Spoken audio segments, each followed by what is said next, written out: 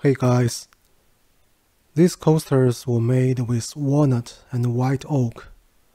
I designed them in Fusion 360 and cut them on my Shapeoko Pro CNC. I used two setups to cut them on CNC, one setup to cut from the top side and the other setup to cut from the bottom side. I used the center hole as the reference to keep the origin position between the two setups. In this video, I will show you the toolpaths in Fusion 360 and the cutting procedure on CNC. Before cutting on CNC, I used my miter saw to cut walnut and white oak to the rough width and length, and then used my bandsaw to resaw the stock. Thus, a 3 quarter inch stock can be used to make two coasters.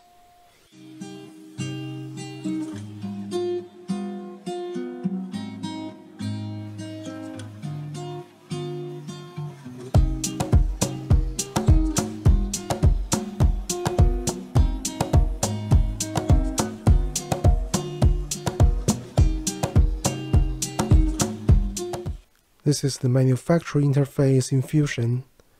Setup 1 includes all toolpaths cutting from the bottom side, and setup 2 includes toolpaths for the top side. The origins of the two setups are set to the same point. In setup 1, the first toolpaths is to bore the center hole. I chose a quarter inch downcut bit for this cut.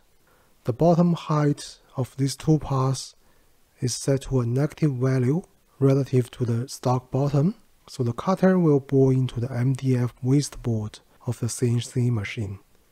This shallow hole in the wasteboard will be used to position the stock for setup 2.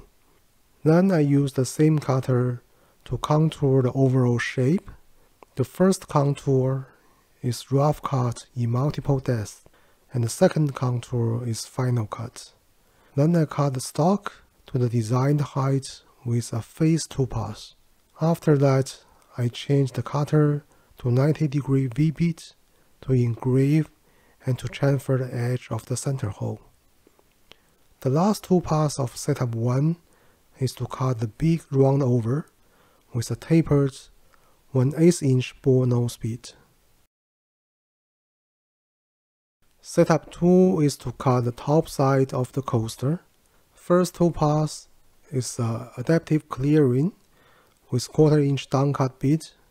This is to roughly remove the majority of the material. Then with the same cutter, I use the pocket cut to clear the flat part of the top face. Then change to a 1 16th inch downcut bit to cut the two circle pockets. For the flower-shaped ring, I chose a 1 8 inch straight ball nose bit to do the scallop toolpath. The last toolpath is to chamfer the edges with 90 degree V-bit. Okay, that's all the toolpath settings. Then let's watch the actual CNC cutting process of setup 1.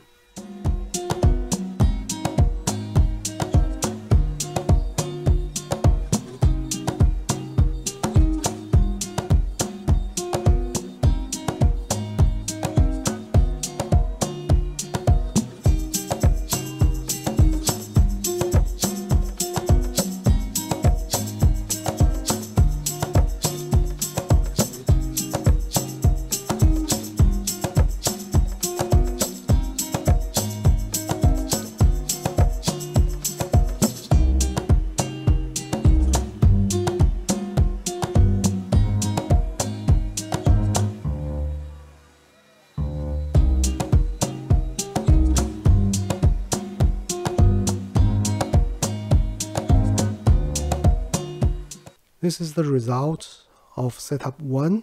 The tool mark of the ball nose bit can be sanded down afterwards. For setup 2, I need to make sure the stock was positioned to the same origin, so I used a half inch dowel to match the shallow hole in the wasteboard I already applied CA glue to the blue tape. After CA glue has dried, I can then gently pull out the half inch dowel. Please forgive me for the poor camera position. Now let's watch the CNC cutting process of setup 2.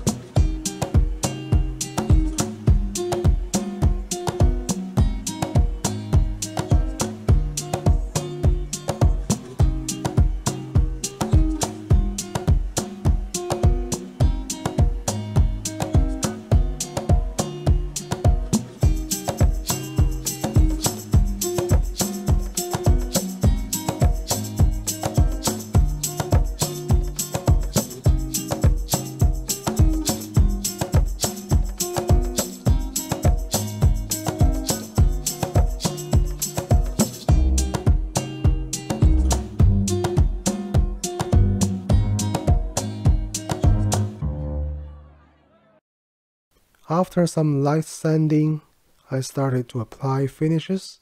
For walnut pieces, I used the Rubio Monocoat Pure.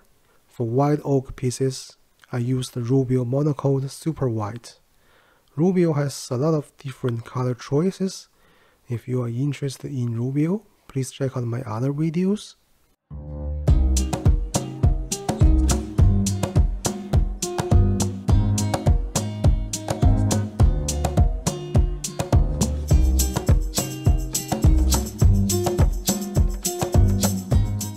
Okay, that's how I made these coasters on CNC. I hope you enjoy this video. If you have any question or suggestion, please leave a comment below. Thank you for watching. If you like this video, please thumb up and subscribe.